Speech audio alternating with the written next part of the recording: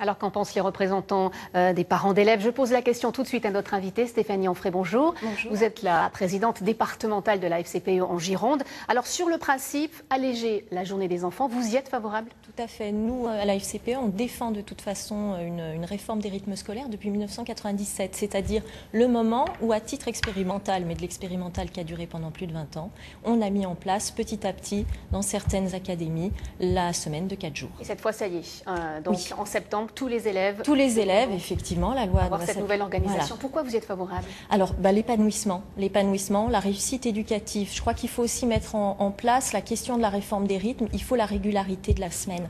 Donc, l'objectif, c'était bien d'alléger toutes les journées de l'enfant. Et alléger aussi, ça veut dire revoir le calendrier scolaire qui n'est pas gravé dans le marbre. Ça signifie qu'aujourd'hui, on est bien passé au 7-2, c'est-à-dire 7 semaines de classe, deux semaines de vacances. Et puis, nous, ce qu'on souhaite aussi, c'est qu'il y ait une réforme des rythmes en matière des grandes vacances. Alors, c'est difficile, on le voit quand même, de mettre en place cette euh, réforme euh, scolaire. On l'a vu dans ce reportage à la Cano. Il y a des communes qui sont récalcitrantes encore.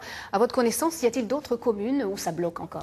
Alors, les- il y, a des- Gironde. il y a des communes qui sont, euh, qui sont parties, si je puis dire, dès 2013. Ces communes-là ont, ont montré que ça, que ça marchait. Il y a eu des ajustements en cours d'année. Et globalement, ce qu'il en ressort, c'est, euh, je dirais, un, un niveau de satisfaction.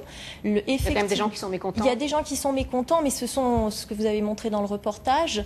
Euh, ce groupe, c'est notamment euh, des groupes de parents qui sont hostiles de toute façon depuis le début. Sur le principe. Voilà. Mais il y a tout de même des difficultés matérielles pour organiser euh, tout ça. Ça coûte cher à une commune. Euh, ça, vous le comprenez? Tout à fait. Alors c'est pour ça que la FCPE demande à ce que l'aide de l'État soit pérennisée. C'est-à-dire que déjà là, elle a été reconduite sur une année, mais c'est pas suffisant. Il faut véritablement que l'aide de l'État soit pérenne de façon à aider en particulier les petites communes. Parce qu'il y a eu notamment un décret à Mont début mai, et ce décret à Mont visait un assouplissement, et nous on y est hostile ce- à ce décret, mais par contre il faut aider effectivement ces petites communes. Alors, il y a aussi le problème des cantines le, mercredi à Bègle, en Gironde. Il y a une manifestation qui est organisée cet après-midi. Qu'en pensez-vous Les parents demandent la cantine pour tous le mercredi midi? Alors effectivement, cette réforme, elle a bien évidemment bouleversé les, logistiques euh, des, parents.